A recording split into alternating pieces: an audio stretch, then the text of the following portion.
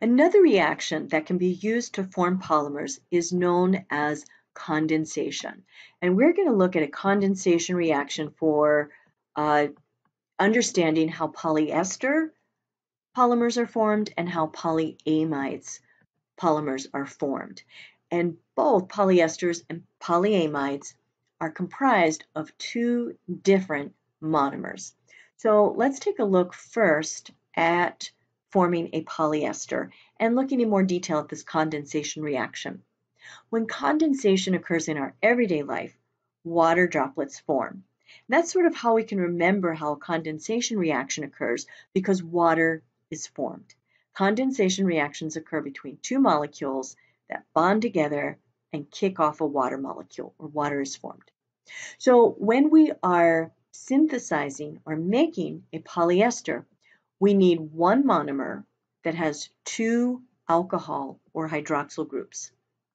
And that's going to react with another monomer we'll call B that has two carboxylic acid groups. When A reacts with B, one of the alcohol groups reacts with the hydroxyl group on the carboxylic acid. These, this H from the alcohol and the OH from the carboxylic acid form water, that's kicked off, and then an ester linkage occurs between A and B. Now, B still has a carboxylic acid group on the other end that can react with another A molecule. And A has a hydroxyl group on the other end, and it can react with another B to form another ester link linkage. So in polyesters, we have this long backbone formed of two different monomers, A and B, one that had the hydroxyl groups, one that had the carboxylic acid groups. So AB, AB, AB and A and B are tied together or linked together by an ester functional group. Now, condensation reactions are also can also be used to form polyamides. And polyamides are formed when we have a monomer that has two carboxylic acids, so we'll still call that B, two carboxylic acid functional groups, and that's going to react with another monomer, we'll call C, that has two amine groups.